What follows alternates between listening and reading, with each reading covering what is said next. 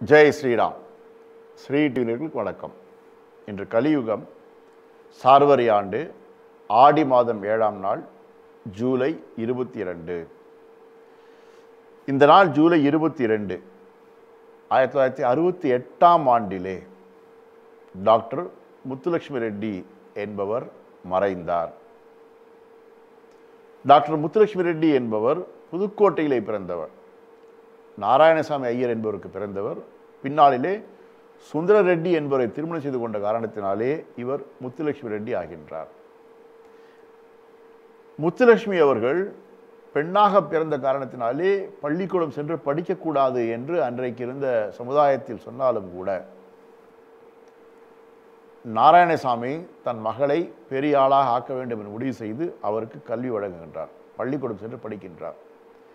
பின்னாளிலே முத்துலட்சுமி நான் மருத்துவ படிப்பு படிக்க வேண்டும் சொன்னதும் புதுக்கோட்டையிலிருந்து சென்னைக்கு அனுப்புகின்றார். சென்னைக்கு வந்து சென்னை மருத்துவக் கல்லூரியிலே படிக்கின்றார். அன்றைக்கு இருந்த மாணவர்களிலே ஒரே பெண்மணி இவர் மட்டும்தான். அதனால் மற்ற மாணவர்கள் எல்லாம் முத்துலட்சுமி மீது மையல் கொண்டு கிண்டல் செய்வதுமாகவும் இருக்கும். இதை கவனித்த அந்த ஆசிரியர் கூட மாணவர்கள் கண்டிப்பார். பெற்றோர்கள் சில பேர் வந்து முதல்வரிடம் சொல்லுவார் என்னுடைய பையன்களுடைய மனதை கெடுக்கின்றார் முத்துலட்சுமி. இவர் இருப்பதால் என் பையன்கள் படிப்பில் கவனம் செலுத்த முடியவில்லை. ஆகவே முத்துலட்சுமியை கல்லூரியிலிருந்து நீக்கி விடுங்கள் என்று சொல்வார்கள். அதற்கு முதல்வர் சொல்வார் முத்துலட்சுமி படிப்பதால் உங்களுடைய பையன்களுக்கு மனசு கலக்கமடைகிறது சொன்னால் உங்கள் பையன்களுக்கு நான் டிசி கொடுத்து விடுகின்றேன். முத்துலட்சுமி இந்த கல்லூரி தான் படிப்பார் என சொல்லி அப்படி துணை நின்றார். அந்த வகையிலே மருத்துவ படிப்பு முடிந்து இவர் மருத்துவராக பணிபுரிகின்றார். அது மட்டுமல்ல சட்டசபைக்கு சென்ற முதல் பெண்மணி ஆவார்.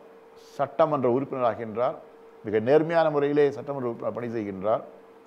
பெண் கல்வி பெண்கள் விடுதலை என்பதற்கு இவர் பல இயக்கங்களை ஆரம்பித்து விழிப்புணர்வு ஏற்படுத்தி பிரச்சாரங்கள் செய்து பெண்களுக்கு நன்மை செய்கின்றார்.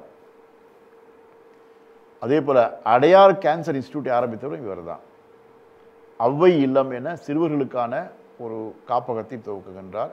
இப்படி சமுதாய பணியிலே புரட்சி செய்த டாக்டர் முத்துலட்சுமி ரெட்டி மறைந்த தினம் இன்று. குறைஞ்சபட்சம் இருபது நொடிகளாவது சோப்பு போட்டு கைகளை கழுவுறத உறுதி செய்யுங்க. நீங்க முழுமையான வைரஸ் நாசினியை பயன்படுத்துறத உறுதி செய்யுங்க. அது சோப்பு.